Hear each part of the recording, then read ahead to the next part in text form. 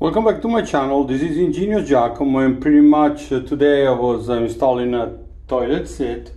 As you know, it's a brand new toilet seat we got for a commercial bathroom because the old one was kind of shaky. I should have two to change. Oh my god, what a pain in the neck. Anyway, that's what I ended up having to do. You know? Anyway, the, a pretty easy job, like I said, like installing a, a toilet seat can become something a bit of a nightmare so thank God I got my tools, you know. So that's what I had to do. I had to get my grinder out after trying and trying. That's what the um, bolt looked like. It was looking very good on the upper part. When I went underneath, it was so corroded where um, I just the only way was to cutting them. So I'm gonna do the second one.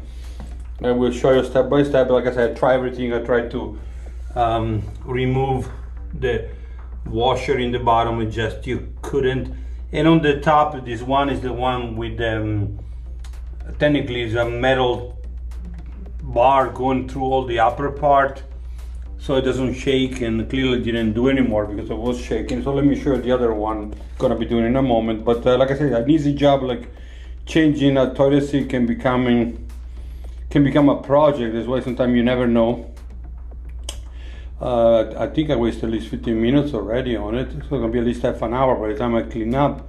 Something normally can do in five minutes.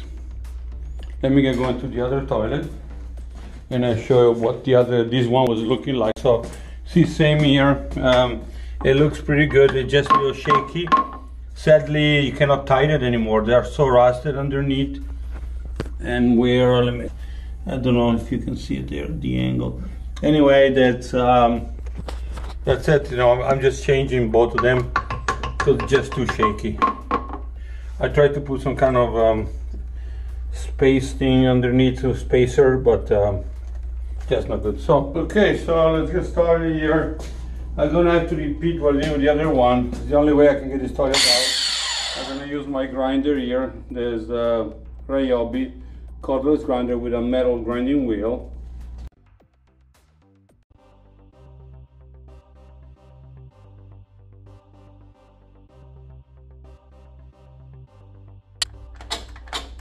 think it's done. Let's take a look.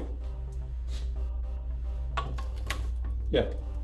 Now one more, then we move to the next step. Maybe cut a little more. Yeah, that's enough. You don't want to crack the, the ceramic, but yeah. So one bolt is gone. This one probably is very hot, so I'm gonna Should be fine. Let me see if I can get out.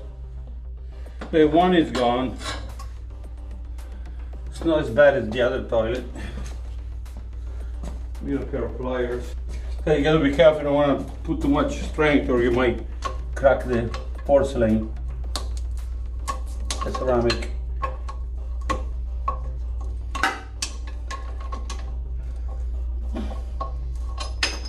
That's it. So we got it. Now the cleanup. And let's go with the new seat. Like I said, the new seat so much better because they use um, this, um, I guess it's called no slide, no move. So you see these mounts? They have a little, um, like a little barb thing on it. And, um, and then they use a new type of screw. I really don't like it too much. Once you reach a certain point, the bottom part of it snaps, but they're fully plastic. And so far it looks like pretty sturdy. Anyway, that's it. Uh, I'm gonna show the final thing once I'm done, but we are finished. Besides clean up, of course. Okay, thank you again for watching. This is Ingenious Giacomo.